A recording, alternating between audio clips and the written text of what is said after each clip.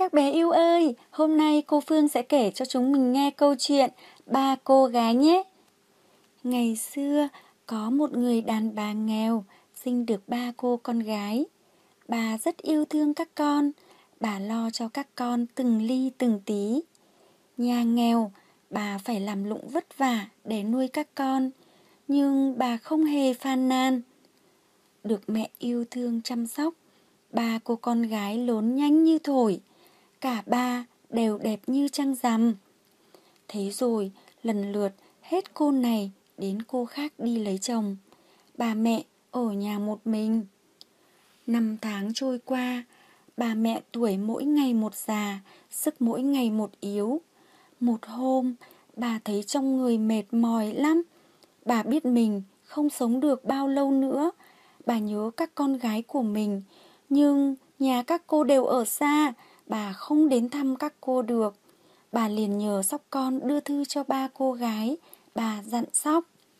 Sóc con khôn ngoan, sóc hãy đưa thư này cho các con ta và nói với chúng rằng ta đang ốm lắm, hãy về thăm ta ngay sóc nhé.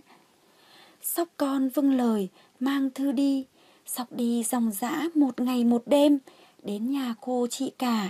Cô chị cả đang cọ chậu.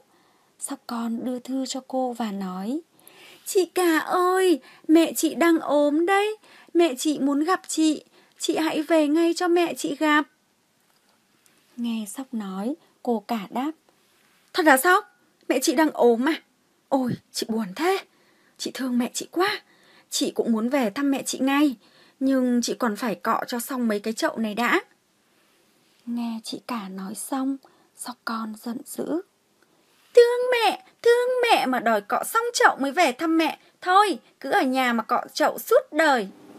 Ngay lúc đó, cô cả ngã lăn ra đất, biến thành một con rùa to, xấu hổ, bò ra khỏi nhà đi mất. Sóc con lại đi đến nhà cô hai. Phải mất dòng dã một ngày một đêm nữa thì Sóc mới đến nhà cô hai. Cô hai đang xe chỉ. Sóc con đưa thư rồi nói với cô hai. Chị hai ơi, mẹ chị đang ốm đấy.